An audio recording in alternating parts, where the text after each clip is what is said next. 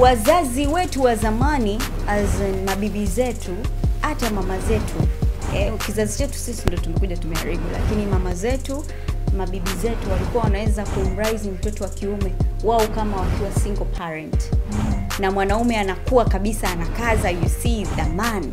Okay. lakini sisi tumekuja ku first treatment ya watoto sisi tumekuja kuharibiwa na kitu uzungu mwingi.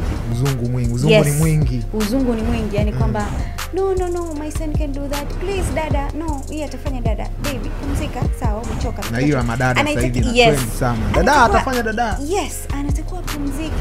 no no no no mtoto wangu wa kiume hapana. Yani tunazo hizo yani ile uzungu uzungu mwingi. Lakini zamani wajomba zangu mi nimekuwa nao naona wanarudi toka shule wanachota maji kama nyumbani hamna maji sio kuna nini? Yani kuna zile shughuli ambazo zilizokuwa zinaendelea. Mm. umeelewa?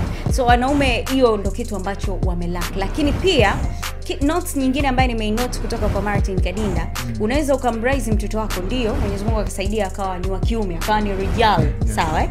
akawa hajajihusisha na maswala ya ushoga lakini asije kuwa ni baba bora kwa sababu hajui baba bora ni nani sio unanielewa yaani hajakuwa na mazingira ya kumfahamu baba bora. Kwa uwezi ukamwambia mwanangu unaenda kuoa uwe baba bora. Hamjui baba bora ni nani. Hajawahi kuexperience maisha ya ubaba. Ndio akakuwa ni mwanaume sio shoga eh, lakini hamjui baba bora. Do you think atamtreat mwanamke wake vizuri?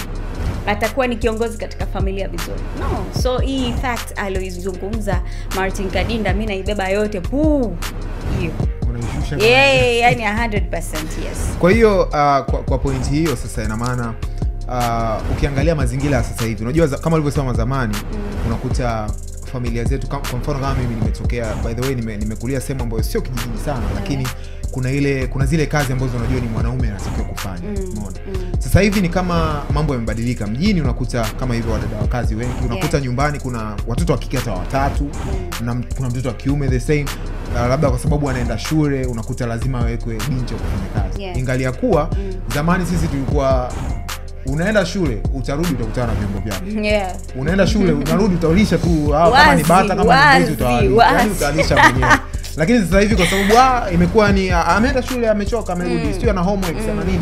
Anatakiwa zile kwenda kazi nyingi, eh, kazi nyingi zinafanywa na, na, na, na wafanyakazi uh, sasa kwa upande huu unahisi pia labda mabadiliko ya dunia na- yanaweza kana changia hichi kitu.